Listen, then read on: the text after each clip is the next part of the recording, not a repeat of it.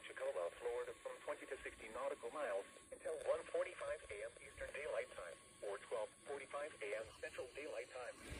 At 12:21 a.m. Eastern Daylight Time or 11:21 p.m. Central Daylight Time, strong thunderstorms were located along a line extending from 6 nautical miles southeast of St. George Island to 6 nautical miles west of South Tower to 30 nautical miles southeast of Empire Erect to 55 nautical miles southwest of C Tower, moving east at 30 knots. C Tower, located south of St. George Island, gusted to 37 knots at 12 midnight. Hazard, wind gusts 34 knots or greater. Source, buoy. Impact, expect wind gusts in excess of 34 knots. Suddenly high waves, frequent lightning, and heavy downpours. Make sure all on board are wearing life jackets.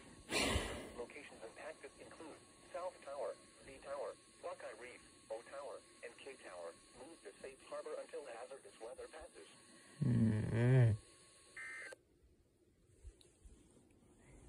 You guys issue an SMW, a freaking SMW at 12, 12, at freaking 1224 in the freaking morning.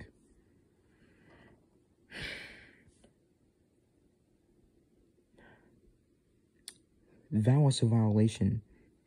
The alert tone scared the freaking crap out of me. I'm not gonna be able to sleep.